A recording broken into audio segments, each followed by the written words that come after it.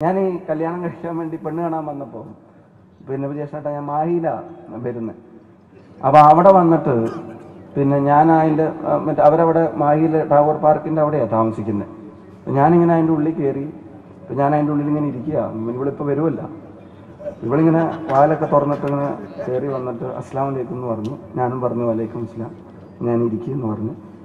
അപ്പോൾ ഇരിക്കുമെന്ന് പറഞ്ഞിട്ട് ഇവൾ ആദ്യം തന്നെ ചോദിക്കുന്നു നിങ്ങൾ എത്ര ദിവസം ഇവിടെ നിൽക്കും? എത്ര ദിവസം അവിടെ നിൽക്കും? എന്നോട് ആദ്യം ചോദിക്കുന്നു. അപ്പൊ ഞാൻ അന്തം വിടുക ഇത്ര എന്റെ വീട്ടിൽ തന്നെ എനിക്ക് നിൽക്കാൻ പറ്റുന്നില്ല. പിന്നെ ഇവിടെ വന്ന് നിൽക്കുന്ന കാര്യം എനിക്കാണെങ്കിൽ ആളെ ഇഷ്ടാവുകയും ചെയ്തു. ഇവിടെ നിൽക്കുന്നില്ല എന്ന് പറഞ്ഞിട്ട് ഇത് കളയാൻ പറ്റില്ലല്ലോ. ഞാൻ പറഞ്ഞു നമുക്കതൊക്കെ ആലോചിച്ച് ചെയ്യാം. അതിലൊരു തീരുമാനം ഉണ്ടാക്കാം. പത്ത് കൊല്ലം ഞാൻ അവിടെ തന്നെ നിർത്തി. ഇപ്പൊ അവരുടെ ഫാമിലി ഗ്രൂപ്പിൽ വരികയാണ്. ഇപ്പൊ എന്തായി പുയ്യാപ്പിള തിരിച്ചിവിടെ വരേണ്ടി വന്നില്ലേ അഴിയൂരിലുള്ള എന്റെ ഉപ്പ വൈഫിന്റെ ഉപ്പ ഒളവിലത്തിലുള്ള എന്റെ ഉമ്മയെ കല്യാണം കഴിച്ചു. അവർ മാഹിയിൽ താമസിക്കുന്നു. മകളെ ഞാൻ കല്യാണം കഴിച്ചു. ഇപ്പൊ ആ വടകരയിൽ ഞാൻ മത്സരിക്കാനും വരികയാണ്. അപ്പൊ എനിക്ക് ഒരു കാര്യം എനിക്ക് വടകരയായിട്ട് ഒരു ബന്ധവും ഇല്ല എന്ന കാര്യക്കോ പറഞ്ഞു കേട്ടു. എന്റെ ഏറ്റവും കരുത്തുറ്റ ബന്ധം വടകരയായിട്ട് എന്നുള്ളത് ഞാൻ പറയാൻ ആഗ്രഹിക്കും എന്റെ ഉമ്മ ഉൾപ്പെടെ ഇവിടെ വന്നിട്ടുണ്ട്. എന്റെ ചേച്ചി ഇവിടെ ആൾക്കാർ കുടുംബക്കാരെല്ലാവരും ഉണ്ട്. വ്യാപ്പള തീരെ വരുന്നില്ല എന്നുള്ളതായിരുന്നു പരാതി. അതിലിപ്പോ ഒരു തീരുമാനമായി കിട്ടി. അല്ലേ സിയ മോളെ? ചേച്ചി അപ്പം ഞാൻ ഇനി കൂടുതലായിട്ടും പ്രസംഗിക്കുന്നില്ല. ഞാൻ ഒരു കാര്യം കൂടി ചോദിച്ചോട്ടെ? നമ്മൾ തുടങ്ങുകയല്ലേ എന്ന് ഞാൻ ചോദിക്കുന്നില്ല. കാരണം എനിക്ക് മനസ്സിലായി. നിങ്ങൾ തുടങ്ങി കഴിഞ്ഞിരിക്കുന്നു എന്നുള്ളത് എനിക്ക് മനസ്സിലായി. ഇനി ഞാൻ പാലക്കാട്ടേക്ക് വിളിച്ചിട്ട് പറയും. ജോലി സ്ഥലത്ത് പോയ ആൾക്കാർ അവരൊക്കെ എങ്ങനെയുണ്ട്? ഒപ്പം വർക്ക് ചെയ്യുന്നവരൊക്കെ എങ്ങനെയുണ്ട് എന്ന് വീട്ടുകാർ വിളിച്ച് ചോദിക്കൂലേ? ഇന്ന് രാത്രി വിളിച്ച് ചോദിക്കുമ്പോൾ പറയും ഒരു ഒന്നൊന്നര മുതലുകളാണ് എന്റെ കൂടെ ഉള്ളത് എന്ന് ഞാൻ പറയും. നിങ്ങൾ തന്നത് ഒരു സ്വീകരണമല്ല. നിങ്ങൾ തന്നത് ഒരു ഒന്നൊന്നര സ്വീകരണമാണ്. എന്തൊരു ജനമായിരുന്നു. ഞാൻ ആ വണ്ടിയിൽ നിന്ന് അങ്ങോട്ട് നോക്കി. എനിക്ക് പേടിയാവുക വണ്ടി മുമ്പോട്ട് നീക്കാം ആരേലും കാലുമ്മ കയറുമെന്ന് വെച്ചപ്പോൾ ഒരാൾ പറയാം കാലുമ്മ കയറിയാലും കുഴപ്പമില്ല.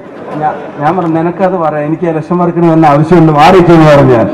അവിടുന്ന് കയറി ജീപ്പുമ്മ കയറി വിഴാതെ കാത്തു കുറെ എന്താ പറയാ എന്റെ ഞാൻ സത്യന്തമായിട്ട് പറയുന്നത് എനിക്ക് ഭയങ്കരമായിട്ടുള്ള സ്വീകരണമാണ് നിങ്ങൾ ഈ ഇവിടെ ഒരുക്കി നേതാക്കന്മാരും സഹപ്രവർത്തകരും. ഒരു ഒരു ഞാൻ പറഞ്ഞില്ലേ പാലക്കാടുമായിട്ട് ഒരിക്കലും എന്നെ അർത്ഥമാറ്റാൻ കഴിയില്ല. അത് ഇനിയാണെങ്കിലും പറ്റില്ല. ഞാൻ അത് പറയുമ്പോഴും ഞാൻ പറയുന്നു ഒരു സ്ഥാനാർത്ഥി ഇങ്ങനെയൊക്കെയുള്ള ഒരാളുകളുടെ ഇടയിൽ വന്നിറങ്ങാൻ ഭാഗ്യം ചെയ്യണം എന്നുള്ള കാര്യത്തിന് സംശയമാണ്. എത്ര നേരമായി നിങ്ങൾ ഇവിടെ വന്നിട്ട് എത്ര നേരമായി? അഞ്ചു മണിക്കൂറായി നിങ്ങൾ വന്നിട്ട്?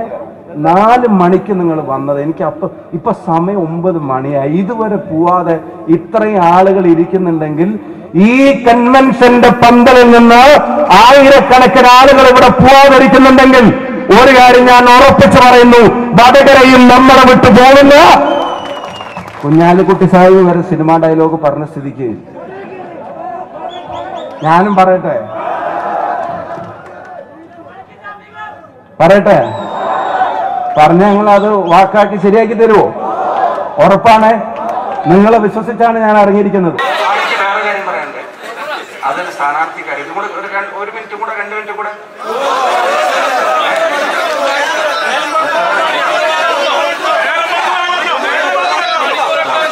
മണിക്കൂർ ഇപ്പൊ എടുക്കണ്ട ഞാൻ വരുന്നുണ്ടല്ലോ അവിടെ അപ്പൊ ഒരു കാര്യം ഞാൻ പറയാൻ ആഗ്രഹിക്കുന്നത് നമ്മൾ ഒരു ലക്ഷം വോട്ടിന് ജയിച്ചു രണ്ട് ലക്ഷം വോട്ടിന് ജയിച്ചു എന്നൊക്കെ എല്ലാവരും നിങ്ങളെ ഈ കരുത്ത് കണ്ടിട്ട് പറയുന്നത് എനിക്ക് സ്ഥാനാർത്ഥിയാണല്ലോ ഞാൻ കുറച്ചുകൂടെ ശ്രദ്ധിക്കണമല്ലോ തെരഞ്ഞെടുപ്പിന്റെ ജയം ഞാൻ പറഞ്ഞു തെരഞ്ഞെടുപ്പിന്റെ ജയം വീടുകളിൽ എത്തുന്ന യു ഡി എഫ് പ്രവർത്തകന്റെ ആത്മാർത്ഥതയാണ്. ആണോ അല്ലേ? അതിലൊരു കുറവ് നമ്മൾ വരുത്തില്ലല്ലോ. എത്ര തവണ വേണമെങ്കിലും ഓരോ വീട് നിങ്ങൾ കയറുമോ അവരെ വെറുപ്പിക്കരുത്. ഒരു- ചേച്ചി ഒരു മിതമായ ആവശ്യത്തിനുള്ള എണ്ണം. അതൊന്ന് നിങ്ങൾ വീട്ടിൽ ഫീൽഡിലൊന്ന് ഇറങ്ങണം. കാരണം ഇപ്പൊ നേരത്തെ ഇറങ്ങി നേരത്തെ പോസ്റ്റർ ഒട്ടിച്ചു നേരത്തെ ഫ്ലക്സ് വെച്ചു എന്നൊക്കെ പറയുന്നുണ്ട്. അതിലൊന്നും എനിക്ക് വലിയ പേടിയൊന്നുമില്ല. ഇവിടെ ഞാൻ ചില ട്രോളുകളൊക്കെ കണ്ട് ഷാഫി പറമ്പിൽ പേടിച്ചിട്ട് വടകരയിലേക്ക് വരുന്നില്ല എന്നൊക്കെ പറഞ്ഞ് ചില ട്രോളുകളൊക്കെ കണ്ടു. ഇപ്പോ ഞാൻ പറയുന്നില്ല. ഞാനത് സേവ് ചെയ്ത് വെച്ചിട്ടുണ്ട്. വോട്ട് എണ്ണീട്ട് ഞാൻ പറയുന്നുണ്ട്. കേട്ടോ